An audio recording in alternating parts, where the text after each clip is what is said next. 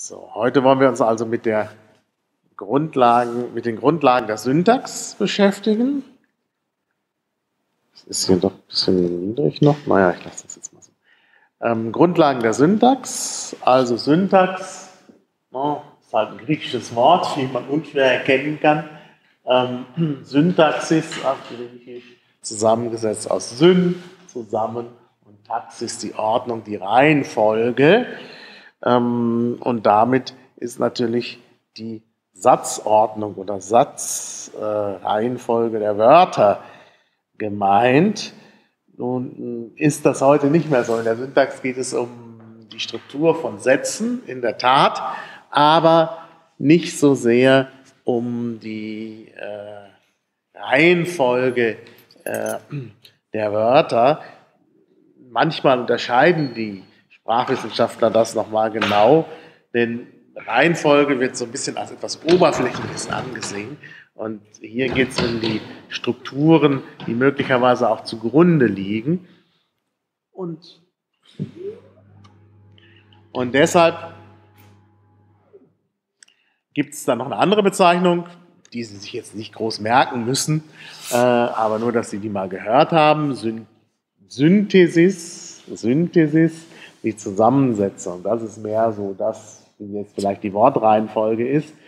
Ähm, Syntax ist halt doch mehr vielleicht die hierarchische Struktur, die hinter einem Satz steht. Synthesis ist mehr das, was an der Oberfläche passiert. Also wie gesagt, die Unterscheidung wird manchmal gemacht, aber für uns müssen wir das jetzt nicht weiter äh, vertiefen. Ähm, also nochmal, die Syntax ist eben tatsächlich einmal die Lehre vom Satz und äh, deshalb müssen wir uns natürlich auch über, überhaupt fragen, was ein Satz ist. Das ist alles nicht so einfach, denn äh, die Betrachtungen setzen natürlich voraus, dass man das Sprachsystem, Lange, Sie haben das schon gehört, irgendwie als homogen, als einheitlich ansieht. Es gibt aber äh, tatsächlich sehr viele äh, Situationen, wo das alles nicht so einheitlich ist. Also zum Beispiel so Sprachkontakt, ja, da ist dann schwierig ja, überhaupt zu äh, sehen, was denn da jetzt die eine Sprache ist, was die andere Sprache ist, wo der Satz anfängt, wo der Satz endet. Ja. Also in so uneinheitlichen Systemen ist es schwierig. Der erste Satz ist äh, ein authentischer, den habe ich aus einem äh, einem Buch über Sprachkontakt ähm, aus dem Elsass, wo so eine Sprachmischung zwischen einem deutschen Dialekt und Französisch ist oder manchmal wird sogar Hochdeutsch gesprochen. Und da sehen wir hier, ich geheim à la maison. Ähm, also tatsächlich so eine deutsch-französische Sprachmischung. Oder der, das andere Beispiel, En montant les Champs-Élysées hoch. Also wo auch deutsch-französischer Sprachkontakt ist. Und dann ist es sehr schwierig, die Strukturen zu ermitteln. Also um Strukturen überhaupt ermitteln zu können, muss man eine gewisse Abstraktion haben und von solchen Phänomenen absehen und eben so eine Art ideale Situation betrachten, wo halt die Sprecher dauernd vollständige, grammatisch einwandfreie Sätze produzieren. Das ist aber nun gerade in der gesprochenen Sprache eher selten und äh, aber gesprochene Sprache wollen wir ja vor allen Dingen betrachten. Das heißt, diese Art der Syntax, mit der wir hier uns in der, äh, ja, in der Linguistik beschäftigen, ist eben ein bisschen problematisch, weil sie von so Idealzuständen ausgeht, nämlich von grammatisch richtigen Sätzen. Dennoch wird oft der Anspruch erhoben, wir kommen dann am Ende noch drauf, dass äh, eben die Kompetenz grammatisch richtige Sätze zu produzieren, irgendwie was äh, ganz Fundamentales ist, was den Menschen sozusagen zum Menschen macht und die Sprachfähigkeit schlechthin definiert. Ähm, ja, also Syntax, wie gesagt, Satzlehre ist die deutsche Bezeichnung ähm, dafür. Äh, manchmal wird es aber auch anders verwendet, wenn man sagt, die Syntax des Satzes. Ähm, dann könnte man es vielleicht auch mit Satzbau übersetzen. Der Satzbau. Und wenn man das griechische Wort anschaut, ne, also Zusammenfolge, äh, dann erinnert es eher an Satzbau als an Satzlehre. Aber heute äh, wird Syntax meistens mit Satzlehre übersetzt, also in dieser ganzen ähm, Aufteilung der Ebenen der grammatischen Beschreibung. Morphologie ist dann die Formenlehre, da haben wir auch Logie drin, Morphologie, äh, aber das heißt nicht Syntaxologie, und noch Satzlehre, äh, Phonologie, die Lautlehre, also die Phonetik. Ja, gut, also müssen wir uns natürlich erstmal fragen, was ist ein Satz? Ne? Ein Satz, der Satz ist halt die Grundeinheit der Syntax und deshalb als erstes mal die Frage, was ist ein Satz? Ich habe Ihnen hier mal einen deutschen Beispielsatz mitgebracht. Das Gras ist grün. Na, das sieht ziemlich gut aus, dieser Satz. Also der scheint grammatisch richtig zu sein und auch vollständig zu sein. Ähm, und ja, dann müssen wir halt überlegen, warum das so ist. Ne? Wenn man ist weglässt, das Gras grün, dann hat man schon den Eindruck, das ist kein vollständiger Satz. Oder wenn man sagt, ist grün, auch nicht gut. Wenn man aber zum Beispiel sagt, das Gras ist leise oder das Gras ist laut, ja, klingt auch komisch.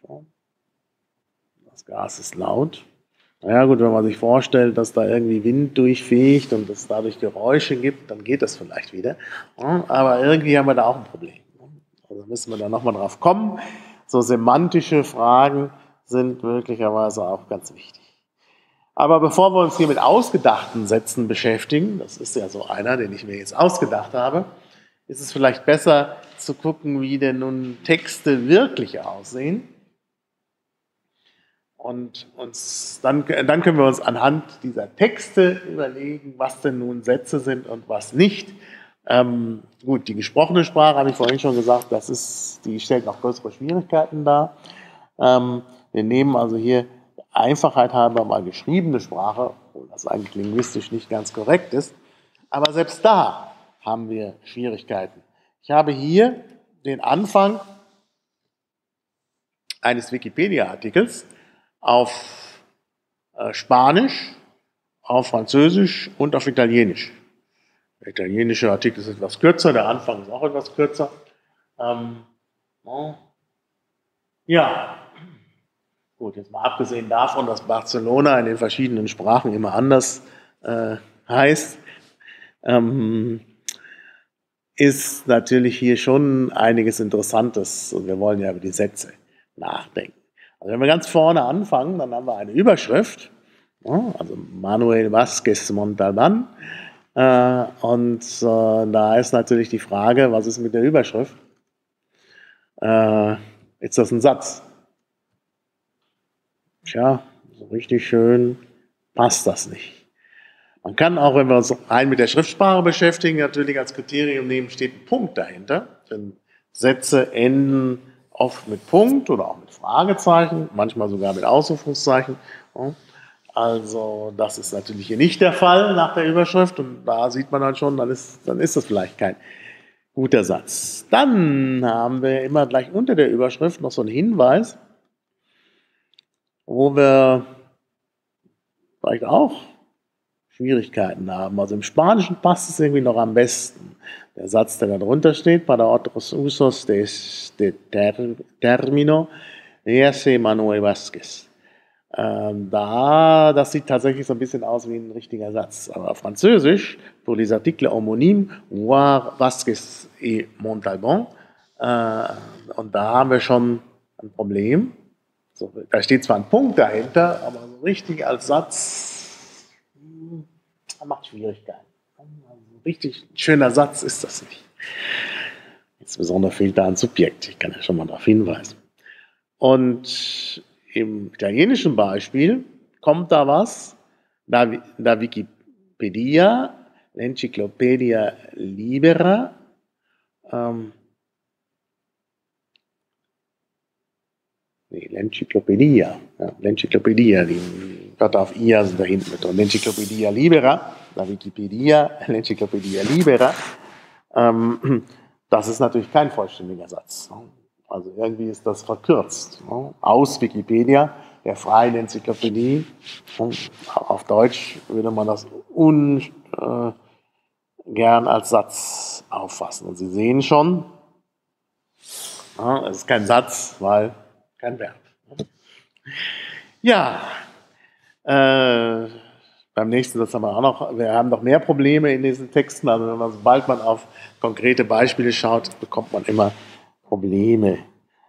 Also, worum es geht, der Minimalsatz, auf Englisch nennt man den Clause, Deutsch Minimalsatz. Ähm, es gibt bei manchen Linguisten auch die Übersetzung Klausel, Clause, aber das ist doch etwas ungewöhnlich. Also der Minimalsatz, ähm, der besteht aus einem Subjekt und einem Verb. Zumindest in bestimmten Sprachen. Und jetzt können wir Sätze von Nichtsätzen ganz gut unterscheiden. Also dieser Satz mit BRC, der hat tatsächlich so eine Art Verb. Das ist zwar ein bisschen komisch,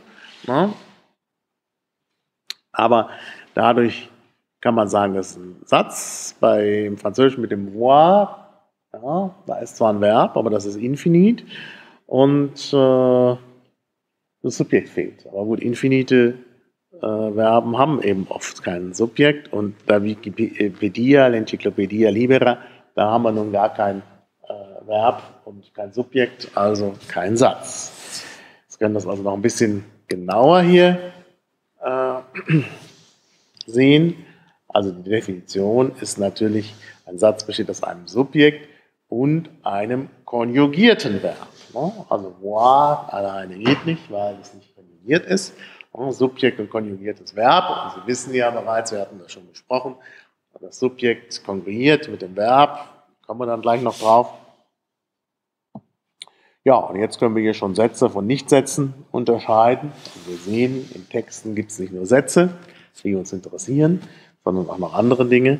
Und ja, die Überschrift ist sicherlich kein Satz, dann das, was da so drunter steht, dieser Hinweis, der Verweis auf andere Artikel, ging im, könnte im Spanischen als Satz durchgehen, im Französischen eher nicht.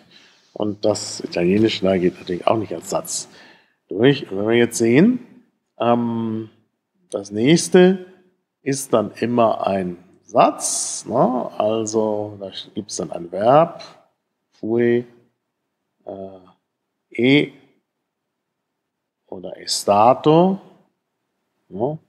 Interessant übrigens, dass im Französischen da das Präsens verwendet wird. Ähm, und in den anderen Sprachen dann Präteritum.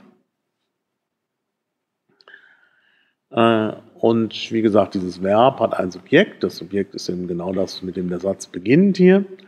Ähm, und damit haben wir einen Satz. Da ist zwar noch was eingeschlossen in Klammern, irgendwie, was äh, wir vielleicht nur schwer analysieren können, welche Rolle das da im Satz spielt. Ist da irgendwie ein Einschub, eine sogenannte Parenthese. Aber wenn wir die ignorieren, haben wir jedenfalls erstmal einen schönen Satz. Ja, und ich habe schon auf das Problem der Kongruenz hingewiesen. Da steht es nochmal. Oh, das ist jetzt sehr klein. Kongruenz Accord, Accordo, ähm, sehen Sie auf Französisch, Italienisch ist die Übersetzung ein bisschen auffällig, äh, aber wie gesagt, Konkurrenz, wir hatten das schon besprochen, äh, und besonders eben hier die Konkurrenz zwischen Subjekt und Verb. Oh, Subjekt dritte Person, das Verb steht dann auch in der dritten Person. Und wenn wir dann weitergehen, dann bleibt eben die dritte Person das Subjekt. Und da wird hier noch das so typisch Lexikonstil, da wird dann noch äh, im ähm, Spanischen äh, oder auch im Französischen dann noch sowas dem Subjekt zugeordnet. Ja, hier im zweiten Satz äh, Personalidad äh, casi imbacable. Ja, und jetzt steht da gar kein Subjekt, aber es ist ein Verb enthalten, se definió, ne? also er definierte sich und dann als äh, fast unnahbare Persönlichkeit. Ne? oder personne inclassable, il se définissait, aber da haben wir tatsächlich das Subjekt, il, und daneben diese Beiordnung. Das geht aus. Ähm, und im Italienischen kommt da nichts mehr, da kann man das nicht sehen. So, also die Kongruenz zwischen Subjekt und Verb besteht die. Und es gibt auch noch mal eine Konkurrenz innerhalb von Nominalgruppen. Sie wissen, zwischen äh, Adjektiv und äh, Nomen, beziehungsweise Artikel und Nomen, das konkurriert auch noch. Gut. Äh, klar, können wir uns jetzt hier wieder anschauen, aber wir haben das schon besprochen mit der Konkurrenz, da überspringe ich das jetzt. Dann gibt es natürlich auch subjektlose Sätze. Hier ein Beispiel aus dem Spanischen und dem Italienischen. Llueve auf Spanisch oder piove auf Italienisch. Es regnet. Nun werden Sie sagen, ja, das ist aber in der dritten Person verwendet. Das ist zwar richtig, die Verben stehen in der dritten Person, aber es gibt kein Subjekt. Sie können da kein Subjekt ergänzen. Höchstens in der poetischen Sprache können Sie sagen, der Himmel regnet oder sowas, aber das ist nicht normales Deutsch oder normales Italienisch oder normales Spanisch. Da werden diese Verben immer ohne Subjekt verwendet, auch wenn die in der dritten Person stehen. Französischen und Deutschen ist es etwas anders. Da steht tatsächlich ein Subjektpronomen il oder es, nur ist das gar kein richtiges Pronomen, denn es steht für nichts. Also normalerweise steht das Pronomen ja für ein Nomen oder ein Nominal, genau genommen, aber dieses il oder, ähm, äh, äh oder Deutsch es steht für nichts. Also irgendwie ein leeres Pronomen. Und deshalb sind eben auch diese Sätze im Deutschen und Französischen eigentlich subjektlos. Man spricht dann davon, dass die so ein Platzhaltersubjekt haben, äh, während im Spanischen und Italienischen dieses Subjekt überhaupt nicht existent ist, bestenfalls eben als dritte Person, als Form der dritten Person Singular im Verb drinsteckt. Der Unterschied zwischen den Sprachen ist, dass äh, äh, Spanisch und Italienisch sogenannte Pro-Drop, Languages sind, wo also kein Pronomen stehen muss, während das Französische und das Deutsche Non-Pro-Drop Languages sind. Das heißt also, da muss immer ein Pronomen stehen. Diese äh, Terminologie, diese englische Terminologie ist eigentlich ein bisschen ungeschickt, weil das Besondere als das äh, ja, wie soll man sagen, als das nicht Besondere dargestellt wird. Also, dass da explizit ein Subjekt stehen muss, ist besonders. Ne? Also das Deutsche und das Französische, ver verhalten sich seltsam. Ne? Äh, und dann steht hier Non-Product Language, als wäre ne, als, als wär das irgendwas Besonderes, dass man Subjekte weglässt. Ne? Das ist halt praktisch die Sicht des Englischen, wo wir ja auch ein Subjekt brauchen, it rains oder it is raining. Ja? Und äh, aus der Sicht des Englischen, wenn dann kein Subjekt gebraucht wird, sagt man Pro-Drop, das Pronominal Drop, also Pro steht für Pronomine. Ähm, das Pronomen fällt, fällt weg, aber im Grunde ist es eher auffällig, wenn ein Pronomen da steht, was kein richtiges Pronomen ist, als dass es wegfällt. Also diese Terminologie ist sonderbar. Und da sieht man, wie so oft in der Linguistik, dass diejenigen, die Terminologie machen, durch irgendeine Sprache besonders geprägt sind. Hier eben durch das Englische. Ne? Im Englischen braucht man halt ein Pronomen der dritten Person. Und wenn das wegfällt, dann merkt man das besonders an. Man sagt, oh, eine Pro-Drop-Language, obwohl eigentlich der Nicht-Wegfall oder vielmehr das Auftauchen eines Pronomens aus dem Nichts, was eigentlich gar kein richtiges Pronomen ist, weil es nichts ersetzen kann, ähm, also es oder il äh, oder it auf Englisch, das ist eigentlich das Bemerkenswerte. Ähm, ja, also wie gesagt, die eigene Sprache prägt so ein bisschen die Terminologie und führt dann eben auch zu solchen Verzerrungen, wie wir hier das sehen. Oft ist es natürlich auch so, dass das Lateinische genommen wird als Grundlage für die Terminologie und auch zu Verzerrungen führt, aber hier nun gerade nicht. Und das Lateinische hätte ja nun auch kein Pronomen, kein Subjektpronomen. Aber auch beim Italienischen und Spanischen steht etwas in der dritten Person. Das heißt also, ähm, es sieht so aus, als hätte das, als gäbe es da ein Subjekt, auch wenn es keins gibt, aber oh, es, es, es, gibt halt diese Form. Ähm, und das äh, bedeutet, dass offensichtlich in diesen Sprachen, auch im Italienischen und äh, Spanischen, genauso wie im Französischen, äh, Subjekt immer eine Rolle spielt. Wir hatten das vorhin in der, äh, in der Definition gesehen, äh, dass wir den Minimalsatz definieren, bestehend aus Subjekt und Verb. Also es gibt immer irgendwie eine Subjektposition. Und hier bei Spanisch und Italienisch steckt die nur irgendwie im Verb, aber es ist halt die dritte Person auch. Also auch da so eine Art Subjektkongruenz, auch wenn da nichts da ist, mit dem es kongruieren kann. Also es gibt immer irgendwie eine Subjektposition. Und Sprachen, die sich so verhalten, oh, nicht alle Sprachen müssen das so tun, äh, die bezeichnet man als subjektprominent. Also man spricht von Subjektprominenz bei Sprachen, bei denen Sätze, Minimalsätze nicht nur aus einem Verb bestehen, sondern eben auch aus einem Subjekt und einem Verb. Also das sind sogenannte subjektprominente Sprachen. Genauer formuliert müsste man sagen, äh, subjektprominente Sprachen sind Sprachen, wo man eine Kategorie Subjekt braucht, um sie zu beschreiben. Also die Kategorie Subjekt ist natürlich eine Linguistenkategorie, die Linguisten erfunden haben.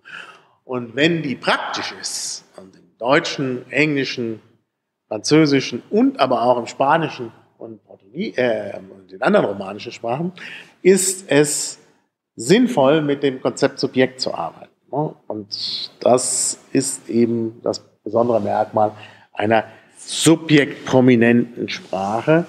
Und es gibt eben Sprachen, die ohne, die man gut beschreiben kann, ohne äh, diese Subjektposition und die sind dann eben nicht subjektprominent. Also vorstellbar wäre, dass es vielleicht gar kein prominentes Lied gibt, dass eben Sprachen, dass eben äh, Sätze minimal nur aus einem Verb bestehen, was vielleicht gar nicht verändert wird. Das dürfte auf viele Sprachen zusprechen. Ich will jetzt nicht sagen die meisten, aber oh, weil man da einen schlechten Überblick hat, aber es gibt sicherlich viele Sprachen, die, für die man keine Subjektposition zur Erklärung braucht. Das sehen manche Leute anders. Also nur als Hinweis, es gibt äh, durchaus Sprachwissenschaftler, die überall Subjekte sehen wollen. Ähm, das halte ich für problematisch. Ich glaube, die Mehrheit aller Sprachwissenschaftler ist sich inzwischen einig, dass äh, wir äh, die Kategorie Subjekt nicht für alle Sprachen benötigen. Ähm, und manche teilen dann eben die Sprachen der Welt aus, äh, ein in zwei Gruppen.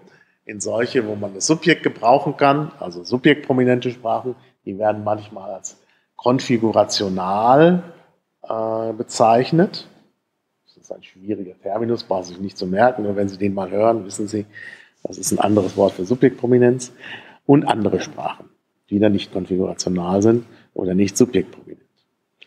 Also was man sich auch noch vorstellen kann, sind Sprachen, die aus einem Verb bestehen und einem besonders wichtigen Element, was neue Informationen bringt, sogenannter Fokus, fokusprominente Sprache. Eine solche Sprache habe ich mal gelernt. Also da braucht man den Begriff Subjekt eigentlich nicht, obwohl manche Sprachwissenschaftler den da auch anwenden. Also das Baskische ist eine solche Sprache, die ist fokusprominent. Da brauchen wir im Minimalsatz immer etwas, was besonders hervorgehoben wird und das Verb. Und wenn da nichts ist, was man besonders hervorhebt, also eine neue Information, dann setzt man da einen Platzhalter ein an der Stelle also ähnlich wie dieses S hier. Ähm, man setzt dann ein Wort ein, was ursprünglich vielleicht sowas wie Ja bedeutet. Äh, Also wenn man äh, sowas sagt wie, ich weiß, dass es schon spät ist, ist, dass es schon spät ist, die neue Information. Die wird hervorgehoben, die muss dann vor dem Verb stehen. Und dann kommt das Verb. Aber wenn ich einfach nur sage, ich weiß oder weiß, das geht im Baskischen, dann muss man da noch ein äh, Wort davor setzen, also Badakit, das Ba ist das, und das bedeutet wahrscheinlich ursprünglich sowas wie Ja. Ja weiß. So. Es muss noch ein anderes Element mit in den Satz zum Verb. Außer bei Infin äh, Imperativen und so, da gibt es dann nochmal Ausnahmen, aber in der Regel braucht man eben diese Kategorie Fokus als verbindliche Kategorie, also etwas, was hervorgehoben wird, um das Baskische zu beschreiben. Ähm und dann ist natürlich vorstellbar, dass es noch andere Möglichkeiten gibt, nämlich äh, sowas wie Topic-Prominenz. Das ist sowas ähnliches wie Subjekt-Prominenz. Subjekte sind ja oft Dinge, die schon mal genannt wurden. Wenn Sie an, unseren, äh, an unser Beispiel äh, denken mit äh, äh, Vasquez Montalban, dann sehen Sie, das, was meistens weggelassen wird, dann, beziehungsweise kein Pronomen ersetzt wird im französischen il, ist natürlich genau dieser Manuel Vasquez Montalban. Ja, der taucht immer wieder auf Ne? Und dann steht da nur noch se définir. Oder hier, steht nichts weiter. Aber hier äh, im Französischen steht dann il. Ne? Und dann nochmal il. Obtient le prix national. Il, il. Ne? Also das Subjekt ist oft das, was schon bekannt ist, was also Thema ist. Und deshalb spricht man auch von Thema oder Topic. Äh, und es gibt natürlich Sprachen, bei denen das Bekannte ganz wichtig ist und immer wieder äh, auftauchen muss, also obligatorisch genannt werden muss. Und daran wird dann was Neues angeschlossen. Und dann spricht man von sogenannter Topic-Prominenz. Äh, also es geht ohne Subjekt, aber die alte Information oder das Thema muss auf jeden Fall genannt werden. Das muss nicht zwingend das Subjekt sein, aber es muss genannt werden. Also Topic-Prominenz spielt zum Beispiel im Japanischen eine Rolle. Äh, wenn Sie eine japanische Grammatik in deutscher Sprache aufschlagen, dann lesen Sie da zwar auch irgendwas von Subjekt, aber oft ist eben was anderes gemeint, nämlich Topic. Ähm, wenn Sie ein bisschen Japanisch können, dann sehen Sie, da gibt es so eine Partikel wa. Das ist eben die sogenannte Topic-Partikel. Äh, die wird meistens verwendet für das, was schon genannt wird, an das die neue äh, Information angeschlossen wird. Und diese Einteilung der Sprachen nach dem Prominenztyp kann man auch Prominenztypologie nennen. Das ist eine relativ neue Forschungsrichtung. Äh, das gibt es noch nicht so lange. Deshalb in den Grammatiken, die Sie so finden, da ähm, ist dann meistens die Rede von Subjekt, auch wenn in verschiedenen Sprachen äh, das Konzept Subjekt ein Problem darstellt und man es vielleicht gar nicht braucht.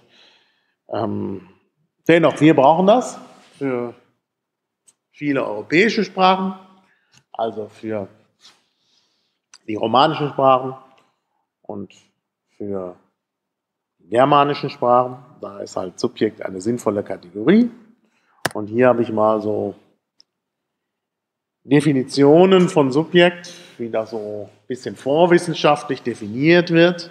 Das lesen Sie auch so in äh, äh, Grammatiken. Ich habe das irgendwo, ich weiß nur nicht mehr wo. Partner des Verbs, sei das Subjekt.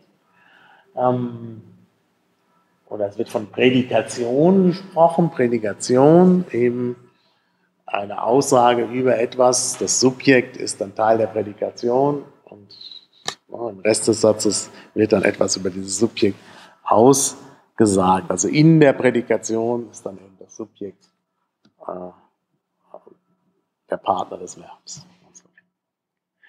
Dann kann man sagen, naja, Subjekt definieren wir einfach über Kongruenz.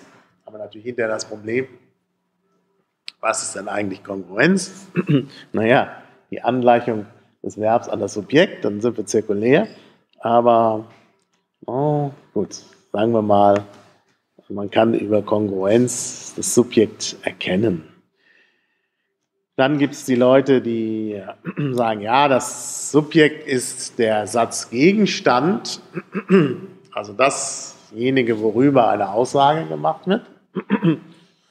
Und äh, das wird dann manchmal etwas linguistischer, äh, auch bezeichnet als Thema oder Topic. Also dasjenige, worüber eine Aussage gemacht wird. Und haben wir vorhin gesehen, es gibt Topic-prominente Sprachen, wo das Thema oder das Topic nicht unbedingt das Subjekt ist. Gut, dann äh, gibt es ein Problem. Aber oft ist eben das Subjekt das Thema. so, wir können aber Subjekt besser definieren mit Hilfe von syntaktischen Theorien. Das heißt, wir machen uns eine Theorie, wie denn Syntax funktioniert. Und dann im Rahmen dieser Theorie haben wir dann auch äh, ja, können wir auch klar machen, was mit Subjekt gemeint ist. Und ich habe das hier mal versucht, mit drei verschiedenen Herangehensweisen, die uns noch weiter beschäftigen werden. Also mindestens zwei davon werden uns noch beschäftigen. Also, Partner des Verbs haben wir ja gesehen. Das heißt, es gibt eine Beziehung zwischen Subjekt und Verb. Das Zusammenspiel von Subjekt und Verb äh, also konstituiert ja den Satz. Und ähm, dann ist natürlich die Frage, setzen wir das Subjekt ganz nach oben und sagen, okay, das Verb nimmt die dritte Person an, weil das Subjekt die dritte Person ist. Also in diesem Fall Alfred Parle auf Französisch. Fall A, Subjekt ist oben.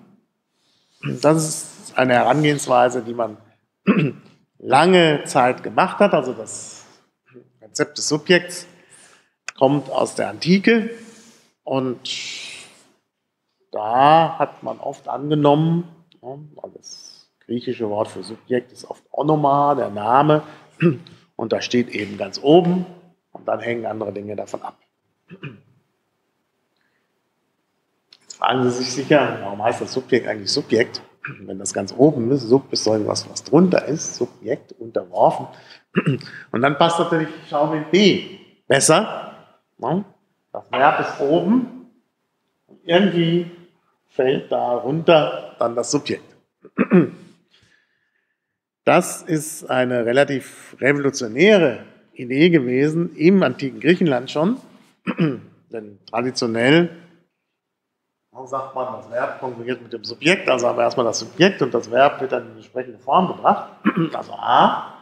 Und B ist dann eine andere Herangehensweise gewesen, die ist erfunden worden von einer Philosophenschule in Griechenland, den Stoikern, die sich eigentlich gar nicht so sehr für Sprache interessierten grundsätzlich, sondern wie Philosophen das so tun, wollten die was wissen über das Denken.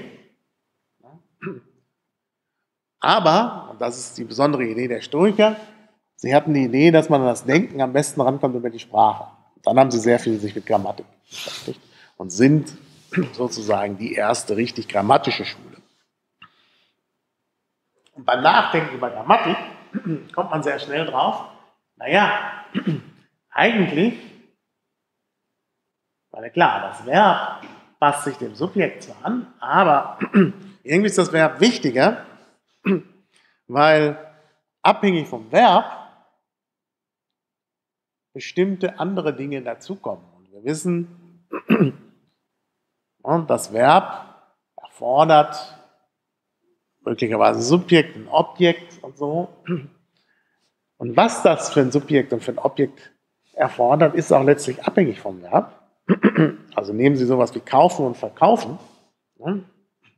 Bei kaufen ist Subjekt derjenige, der letztlich die Ware bekommt, wenn er Glück hat. Und bei Verkaufen, na doch, wenn es funktioniert, ist das der, der die Ware bekommt. Und bei Verkaufen ist vorne jemand, der die Ware los wird. Und auf jeden Fall sind es Menschen. Auch bei Schlafen sind es Menschen oder Tiere. Beim Verkaufen, Kaufen sind es keine Tiere, außer wenn die irgendwie personifiziert sind. Schlafen können noch Tiere, möglicherweise sogar Blumen, weil die sich dann so zusammenklappen. Da meint man, die schlafen. Aber dann wird schon schwierig. Steine schlafen nicht, Tische schlafen nicht. Also irgendwie je nachdem, was man für ein Verb nimmt, gibt es halt unterschiedliche Subjekte. Und da gibt es irgendwie eine Abhängigkeit. Das war halt die Idee der Stoiker, das Verb irgendwie an den Anfang zu stellen und alles, was dann sonst noch dazu kommt, darunter zu packen. Und äh, das, was da noch dazu kommt, das steht möglicherweise in einem bestimmten Kasus, Fall, äh, griechisch Tosis und die Bezeichnung Kasus, Fall, Tosis, rührt wahrscheinlich daher, dass sich die Historiker das so vorgestellt haben, dass es irgendwie nur so runterfällt. Hier in dieser Zeichnung. Und wir haben leider keine Zeichnungen von den Stoikern, sondern nur Textfragmente. Aber so eine Vorstellung steckt wahrscheinlich dahinter. Und wahrscheinlich heißt es deshalb Fall und eben auch Subjekt, weil das Subjekt ne, irgendwie dem Verb unterworfen ist. Subjekt ist natürlich ein lateinisches Wort, aber natürlich auch eine Lehnübersetzung aus dem Griechischen. Und da geht die äh, modernere Grammatiktradition auf jeden Fall auf die Stoiker zu. Kurz in Klammern, der Ansatz A den es schon vor den Stoikern gab, der hat sich auch äh, ein bisschen erhalten. Insbesondere in der russischen sprachwissenschaftlichen Tradition und natürlich dann durch die Vormachtstellung der russischen äh, Wissenschaft im slawischen Raum, auch in anderen slawischen Grammatiktraditionen wird oft das Subjekt ganz nach oben gestellt, während sonst überall das Verb eine entscheidende Rolle So, jetzt haben wir noch den Ansatz C, der ganz nützlich ist, um tatsächlich das Subjekt zu definieren. Und das haben wir natürlich in A und B auch gemacht. Ne? In A ist das Subjekt dasjenige, von dem der ganze Satz ausgeht. Und in B ist das etwas, was vom Verb abhängt. Ne? zusammen mit dem Objekt, direkten Objekt, indirekten Objekt, was da sonst noch alles zum Verb gehört. Ja, und im Ansatz C, da wird nun gesagt, gut, es gibt sowas wie einen Satz, ne? Satz, und dieser Satz besteht aus zwei sogenannten Konstituenten. Das eine ist das Subjekt das andere ist das, der verbale Bereich, also das Verb und was noch alles hinzukommt. Das heißt, der Satz wird aufgeteilt in zwei Konstituenten, der Subjektkonstituente und der Verbalkonstituente. Im Grunde kann man auch sagen, eine nominale Konstituente und eine verbale Konstituente. Und diese nominale Konstituente, die direkt unter diesem S steht, also unter dem Satzknoten, ähm, das ist eben das Subjekt. So ähnlich wie Partner vom Verb. Ne? Aber man teilt den Satz halt ein in was Nominales und was Verbales und das Nominale, was halt direkt die, auf der ersten Ebene dieser Konstituentenanalyse ist, das ist eben das Subjekt. Also hier nochmal etwas abstrakter. Subjekt in A ist etwas Nominales, Onoma auf Griechisch von dem das Verb abhängig ist. In B ist das Subjekt etwas Nominales, was vom Verb abhängig ist, zusammen mit anderen, aber minimal muss eben wenigstens dieses nominale Element da sein. Es könnte auch noch ein Objekt da sein, das hängt dann eben vom Verb ab. Aber wenn sonst nichts da ist, ähm, dann haben wir wenigstens das Subjekt. Und wir haben gesehen, bei Witterungsverben sind ja Besonderheiten, also regnen und so. Und Definition C ist, wir haben den Satz und wir teilen ihn ein in was Nominales und was Verbales und das Nominale, was direkt unter dem S-Knoten steht, das ist eben das Subjekt. Objekte und so schließen sich dann in das Verbale an. Und dann ist das, äh, das, das Objekt anders definiert. Das gehört zum verbalen Bereich. So. Dieser S-Knoten habe ich hier mal eingekreist, nämlich der hat einen besonderen Status. Der ist nämlich abstrakter. Wenn wir das hier nochmal sehen, wenn wir das vergleichen mit V und N, V und N sind wirklich da, ne? das können wir benennen. V war Paaren, N war äh, als Renn, ne? hier auch als Rennpaaren. Aber S ist was Abstraktes. Ne? Das ist eben genau das, was man als Satz bezeichnet. Also Satz ist an sich auch abgeleitet aus diesem Zusammenkommen von nominalen und verbalen. Das Nominale, was eben den Satz bildet, ist dann eben das, was man Subjekt nennt. Sie sehen also, Subjekt ist halt abhängig von dem Konzept des Satzes. So, wir haben jetzt wieder hier unseren Text und da können Sie jetzt natürlich diese Dinge sehr schön erkennen. Ähm, also wenn wir den letzten Satz hier mal nehmen im Französischen, il obtient le prix national, dann ist klar, obtenir ist das Verb und das braucht halt ein Subjekt. Und dieses Subjekt muss auch gelebt sein und so. Erhalten kann immer nur durch Aktion, obtenieren, ist ein bestimmtes Erhalten.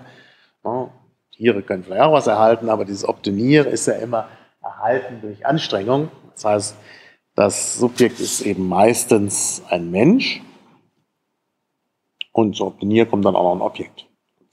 Klar. Aber die Satzkonstitution besteht eben darin, dass das Subjekt mit dem Verb verknüpft wird. Ja, können wir hier jetzt feststellen, Syntax ist eben die Satzlehre, die Lehre eigentlich von den vollständigen Sätzen. Dann ist natürlich die Frage, was machen wir mit unvollständigen Sätzen? Die gibt es ja auch. Wir haben die im Text gesehen. Die müssen wir auch irgendwie beschreiben.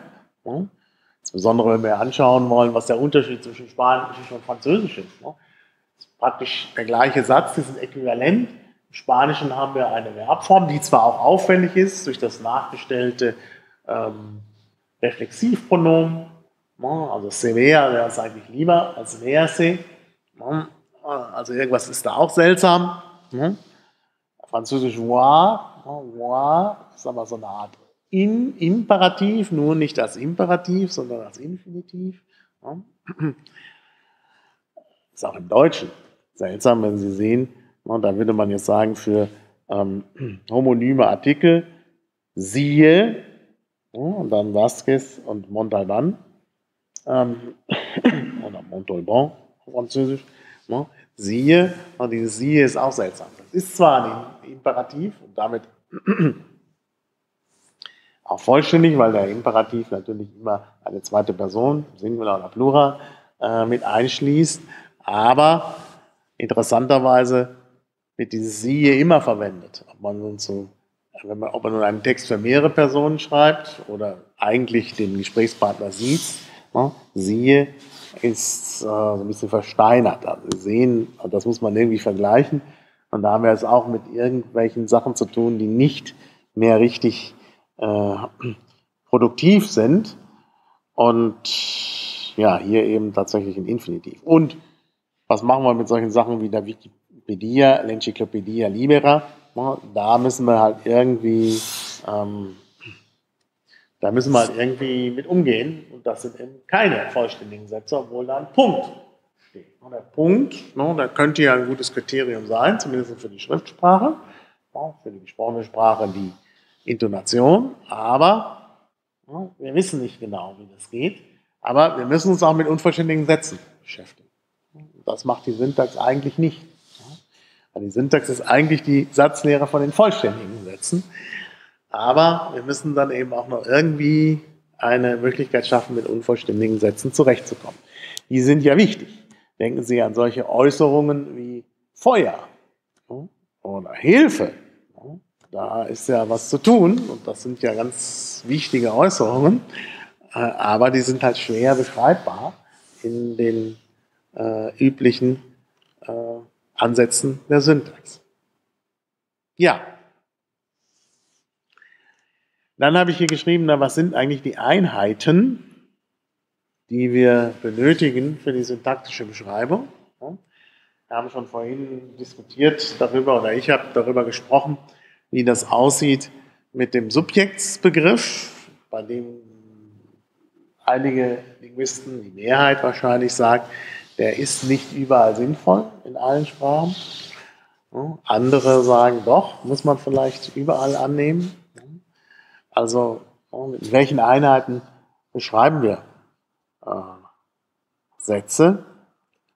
Wir hatten vorhin auch noch ganz kurz diese Geschichte, dass man den Satz zerlegt in was Verbales und was Nominales, was aber möglicherweise auch mehr als nur ein Wort umfasst. Also ganze Wortgruppen, muss man mit Wortgruppen arbeiten. Oder reicht es nur mit einzelnen Wörtern zu arbeiten? Das sind im Grunde alles nicht abschließend geklärte Fragen. Da gibt es halt unterschiedliche Ansätze und vor allen Dingen unterschiedliche Theorien. So, dann der Systembegriff. All das geht nur, ich hatte das am Anfang gesagt, in geschlossenen Systemen, die irgendwie so idealtypisch sind, wo also kein Sprachkontakt stattfindet. Äh, ja, und das Beispiel, was ich hier gebracht habe zur Illustration, war ja nun ein schriftsprachliches Beispiel. Offensichtlich funktioniert Syntax der Schriftsprache deutlich leichter als Syntax der gesprochenen Sprache. Und wenn Sie sich äh, syntaktische Theorien anschauen und die Beispielsätze, die da verwendet werden, anschauen, dann haben Sie immer irgendwie den Eindruck, dass das keine authentische gesprochene Sprache ist, sondern Schriftsprache. Dazu kommt, dass die führenden Ansätze in der Syntax, insbesondere die generative Grammatik, äh, Beispiele erfindet. Da wird halt gesagt, naja, es geht ja um die Sprecherkompetenz und äh, der Linguist der sich mit einer Sprache beschäftigt, ist halt eben kompetent und erfindet dann seine Beispielsätze selber, um Dinge zu illustrieren. Das nennt man Introspektion, also er guckt, man guckt sozusagen in sich selbst rein.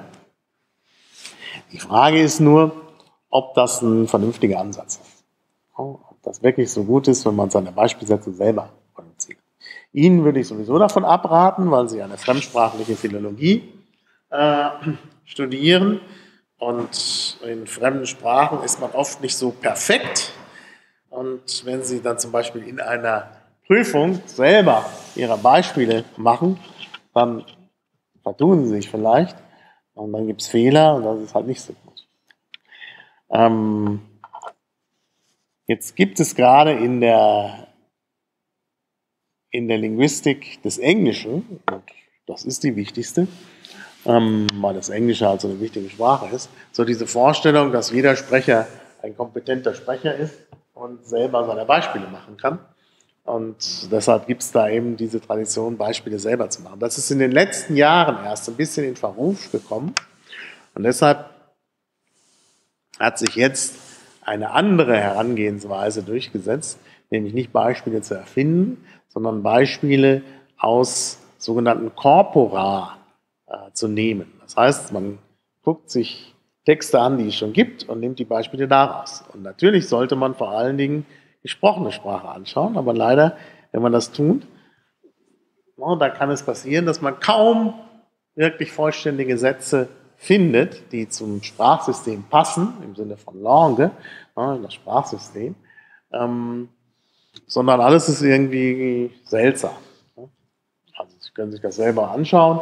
Es gibt ja äh, praktisch für alle Sprachen Corpora im Internet, also auch von der gesprochenen Sprache, Französische zum Beispiel das sogenannte Orléans Corpus, was schon sehr alt ist, da hat man in den 70er Jahren Sprachaufnahmen in Orléans gemacht und ähm, das können Sie sich dann anschauen und wenn Sie da so eine Seite des Orleans Corpus durchgehen, das ist alles transkribiert, ähm, dann sehen Sie möglicherweise auf einer Seite keinen einzigen vollständigen Satz. Ja, so sprechen die Leute halt und das macht es schwierig. Aber hier die Linguisten, die eben mit dem Sprachsystem im Sinne von Lange sich beschäftigen wollen, sind halt angewiesen auf vollständige Sätze, weil ja, die Syntax eben die Lehre der vollständigen Sätze ist. Und deshalb wird da oft die Schriftsprachlichkeit bevorzugt, obwohl das eigentlich nicht im Sinne der Linguistik ist. Ja, dann gibt es zwei Herangehensweisen. Das haben Sie vorhin schon bemerkt. Nämlich, ich kann die Wörter in den Mittelpunkt stellen und gucken, in welcher Beziehung Wörter stehen. Also gibt es Abhängigkeiten, sogenannte Dependenzen zwischen Wörtern. Also zwischen Barl und Alfred. Wir haben gesehen, da gibt es semantische Abhängigkeiten.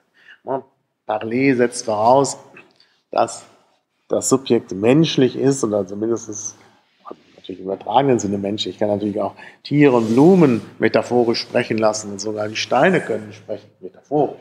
Aber in der wörtlichen Bedeutung ist da eben was Menschliches als Subjekt äh, verlangt von Parler.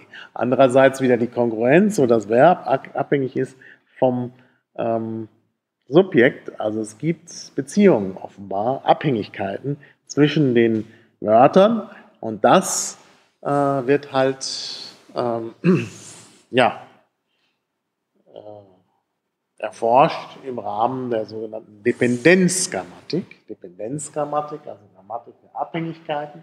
Und in der Dependenzgrammatik geht es halt nur um Wörter. Ja, man schaut sich Wörter an und guckt, wie diese Wörter in Abhängigkeit zueinander stehen. Dann gibt es einen anderen Ansatz, den haben Sie auch vorhin schon gesehen. Da versucht man den Satz als Wortgruppe aufzufassen und in weitere Wortgruppen zu zerlegen. Zum Beispiel eine, normal, eine nominale Wortgruppe. Äh, ich also statt Alfred Barl, äh, würde ich auch sagen, äh, äh, L'ami de, de ma nièce, also der Freund meiner Nichte, ne, könnte Alfred sein. Ne, nämlich L'ami de, de ma nièce, ist eine ganze Wortgruppe. Parle. Oder à parler, habe ich auch eine Wortgruppe. Also, wir zerlegen den Satz in Wortgruppen, die ihn konstituieren. Da spricht man von Konstituenz oder oft auch von Konstituentengrammatik, weil man sagt, der Satz lässt sich in Konstituenten, von Wortgruppen, die ihn konstituieren, zerlegen. Und dann geht es halt um Wortgruppen. Dependenzgrammatik geht es immer um die Beziehung zwischen einzelnen Wörtern, niemals Gruppen. Bei der Konstituenz geht es halt um Wortgruppen.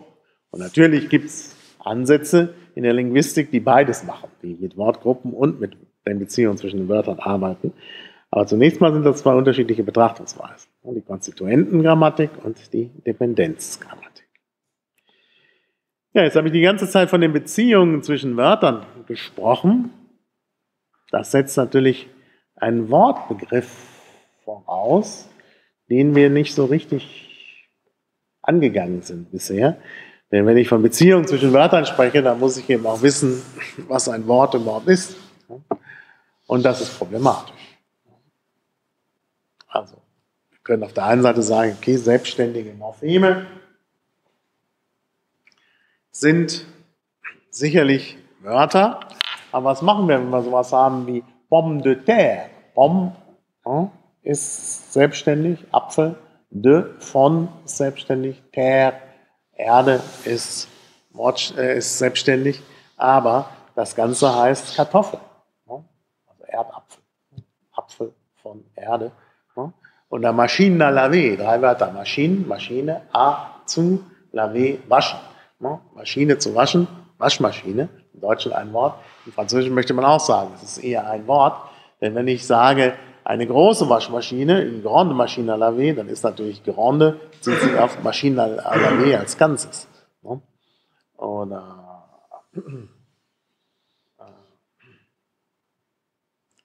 Pomme de terre in den Plural gesetzt, dann setze ich natürlich nur den Plural an das S von Pomme. Äh, aber das Ganze ist natürlich dann im Plural. Also wie gesagt, da möchte man eben auch solche drei Wortgruppen als ein Wort auffassen. Also der Wortbegriff an sich ist da problematisch. Wir müssen uns aber darüber eben auch Gedanken machen, denn wir möchten am Ende in der Syntax ja pomme de terre als ein Wort behandeln und nicht als drei Wörter behandeln. Ähm, wir hatten vorhin à parler, à parler. Ich kann sagen, il parlait im Imperfekt oder à parler, passé composé, das sind dann zwei Wörter, aber irgendwie ist das auch nur eine Form des Verbs. Da möchte man vielleicht auch als ein Wort behandeln. Äh, also wie gesagt, da müsste man drüber nachdenken, wie man halt seinen Wortbegriff da gestaltet. Ja, also über den Satzbegriff haben wir gesprochen. Wir haben jetzt auch so ein bisschen über den Wortbegriff gesprochen. Und ich kann Satz und Wort unterschiedlich definieren, je nachdem, welche äh, Betrachtungsebene ich wähle. Ich hatte das schon mal angedeutet. Den Satz kann ich grafisch definieren, indem ich sage, gut, was mit einem Punkt oder einem anderen Satzzeichen endet, ist für mich ein Satz. Computerlinguisten machen das gerne so. Die geben dann Texte ein und zählen die Sätze. Das heißt, sie suchen immer bis zum Punkt oder zum Satzzeichen und das ist dann ein Satz. Es gibt dann mal Schwierigkeiten bei Überschriften. Aber die sind selten. Ein Text hat meistens eine Überschrift, manchmal gibt es auch noch so kleine Zwischenüberschriften, aber wenn man das so macht, kriegt man näherungsweise eine ganz gute Zahl für die Sätze aus. Das gleiche mit Wörtern. Wir hatten das schon in der letzten Sitzung, glaube ich. Das Wort kann man grafisch definieren als das, was zwischen Leerzeichen steht, beziehungsweise zwischen Anfang und Leerzeichen. Anfang und Satzzeichen eben. Satzzeichen setzen dann Leerzeichen. Und dann haben wir das Wort grafisch definiert. Und die meisten Ansätze in der Computerlinguistik machen das. Das heißt, die arbeiten ja dann mit schriftlich vorliegendem Text. Das kann schon gesprochene Sprache sein, aber dann transkribiert. Und dann suchen sie nach Leerzeichen und Satzzeichen und zählen dann die Zeilenanfänge natürlich auch, und zählen dann die Wörter. Und da gibt es entsprechende Programme, die so arbeiten und das funktioniert auch recht gut. Aber es ist eben eine bestimmte Wortdefinition, die eben grafisch ist. Also Pomme de terre würde da auf drei Wörter kommen. Aber das ist üblich, auch wenn Sie mit Google arbeiten oder so, ist genau diese Wortdefinition steckt dahinter. So, jetzt können Sie phonisch argumentieren. Ne, phonisch, ne, da kriegen Sie den Satz raus, indem Sie jetzt gucken, gibt es Intonationskurven, ne, die auf einen Satz verweisen. Denn bei Sätzen ist es meistens so, dass die Intonationskurve ne, steigt erstmal an und kommt dann wieder, geht dann wieder nach unten. Ne. Bei Fragesätzen oder Exklamationen geht die Stimme vielleicht nach oben, wobei das auch sprachlich unterschiedlich ist. Also im Französischen zum Beispiel ist die Frageintonation etwas anders, da geht die Kurve dann auch wieder nach unten. Im Deutschen geht die Kurve in Fragesätzen meistens nach oben. Aber man erkennt an der Intonation die Frage und das kann man auch relativ, oder den Satz, das kann man auch relativ gut machen. Da gibt es auch Untersuchungen dazu. Ich meine, uns fällt das leicht.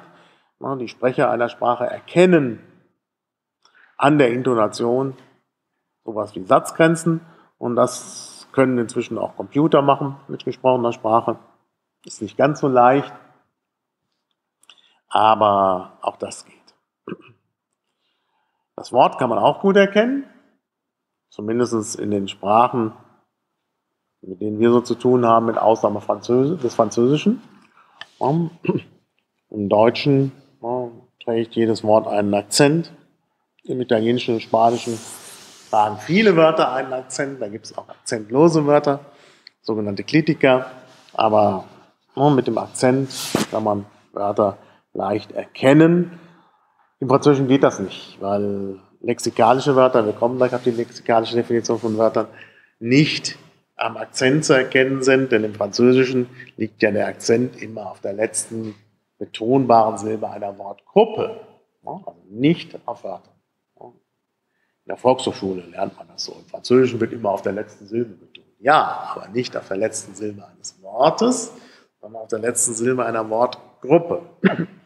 Das ist, äh, das ist eben das Problem. Das heißt, ähm, wir müssten dann unterscheiden zwischen einem phonetischen Wort, macht man auch so, und einem lexikalischen Wort. Das lexikalische Wort kommen wir jetzt als nächstes. Das lexikalische Wort erkennt man daran, was Lexikoneinträge sind. Lexikalische Sätze gibt es nicht, da ist das nicht sinnvoll, aber wir können äh, das Wort so definieren, dass wir schauen, was steht in dem Lexikon. Und dann finden wir Pomme de terre als Eintrag im Lexikon. Wir wissen, aha, das ist ein Wort es dafür einen speziellen Eintrag im Lexikon gibt. Ja, das heißt halt tatsächlich konkret im Lexikon, auf Papier oder meistens im Computer, wo man das nachschlagen kann. Ja, auf diese Weise kann man dann auch computerlinguistisch vorgehen, indem man eben den Text vergleicht mit Lexikoneinträgen und dann herausbekommt, was ein Wort ist und was vielleicht kein Wort ist. Ähm, übertragen gesehen machen das auch die Sprecher so, denn das, was in den Wörterbüchern steht, haben wir auch immer mehr oder weniger im Kopf. Also wir haben ein sogenanntes mentales Lexikon, das ist vielleicht nicht so umfangreich wie das gedruckte Lexikon, je nachdem, wie äh, gut wir sind in einer Sprache, kann man auch prüfen, da gibt es so äh, statistische Überprüfungsmöglichkeiten, wie groß der Wortschatz eines Sprechers ist. Ja, dann wird man halt mit, weiß ich nicht, 50 Wörtern oder 60 Wörtern konfrontiert aus verschiedenen Bereichen des Lexikons. Und wenn man von denen äh, 50 weiß, dann kann man daraus hochrechnen, wie viele Wörter man überhaupt im Kopf hat. Ähm, und wenn man nur 20 von denen weiß, dann hat man halt insgesamt weniger Wörter im Kopf. Also mit statistischen Methoden kann man das herausfinden wie viele Wörter im passiven Wortschatz zumindest, äh, zumindest gespeichert sind. Ähm, oder ich kann natürlich auch äh, den aktiven Wortschatz untersuchen. Dazu muss ich einfach äh, genügend Text aufnehmen von jemandem. Man kann wieder mit statistischen Methoden daraus hochrechnen, wie viele Wörter der aktiv verwendet. Der aktive Wortschatz ist natürlich etwas kleiner als der passive Wortschatz. Aber wie gesagt, es gibt auch dieses mentale Lexikon. Ich muss also nicht auf das, ähm, auf das Lexikon auf Papier oder im Computer zurückgreifen, sondern ne, Menschen haben sowas wie ein Lexikon im Kopf. Und äh, ich kann natürlich dann auch wieder möglicherweise mit Introspektion arbeiten und gucken, kenne ich das Wort, ist das ein Wort für mich? Aber besser ist natürlich, das an anderen zu testen. Ja, dann gibt es natürlich noch eine grammatische Definition. Über die haben wir heute schon gesprochen für den Satz. Das ist kein Problem. Da gibt es halt den Minimalsatz, der besteht aus dem Subjekt und dem konjugierten Verb. Wobei, das habe ich vorhin nicht so richtig gesagt, bei meiner ersten Version der Definition habe ich ja gesagt Subjekt und Verb. Bei der zweiten Subjekt und konjugiertes Verb. Aber konjugiertes Verb bedeutet natürlich in den subjektprominenten Sprachen, dass das irgendwie das Subjekt schon enthält. Also weil das natürlich konjugiert wird in Abhängigkeit vom Subjekt, sodass ich vielleicht das Subjekt hier sogar entbehrlich finde, wenn es impliziert wird durch das konjugierte Verb. Ja, das ist vielleicht noch zu überlegen an der Stelle. So, Grammatisch kann ich auch ein Wort definieren. Denn Wörter sind je nach Wortart flektiert. Dann erkenne ich sie natürlich. Wenn es sowas gibt wie eine Wortflexion. Wortflexion gibt es ja nicht so in vielen Sprachen. Im Englischen gibt es immer nur noch das Plural S oder das S der dritten Person und dann nochmal Präteritum, Idee und so, aber so viel Flexion ist da nicht übrig. Äh, und es gibt eben auch Sprachen, die flektieren nicht Wörter, sondern Wortgruppen kann auch passieren. So ein bisschen bewegt sich das Französische dahin. Ne? Wenn Sie jetzt denken, ne, Plural eines Nomens, das erkennt man am Artikel im gesprochenen Französischen und nicht mehr an der Form des Substantivs. Also das geht so hin zu einer Flexion von Wortgruppen. Das Baskische ist eine gruppenflektierende Sprache, wo nicht Wörter flektiert werden, sondern Gruppen. Aber ansonsten die romanischen Sprachen, das Deutsche, und das sind halt Sprachen, die tatsächlich eine Wortflexion haben. Und deshalb kann ich halt sehen, ne, wenn da irgendwie bestimmte Flexionsendung dranhängt, dann ist das wohl ein, Ver ein Wort, was flektiert wird. Entweder ein Verb, das hat Verflexion, oder was Nominales, was auf andere Weise flektiert wird. Also an der Flexion kann ich auch Wörter erkennen, wobei es dann natürlich immer noch die große Gruppe der Invariabilia gibt oder die heißen auch manchmal Indeklinabilia, also Wörter, die nicht verändert werden, also nicht dekliniert werden, nicht konjugiert werden, die also invariabel sind. Aber die sind natürlich auch praktisch, eigentlich sogar noch praktischer als die flektierten. Ich kann zwar an der Flexion das Wort erkennen, aber Wörter, die immer anders sind, sind natürlich eine Schwierigkeit für so Lexika und so.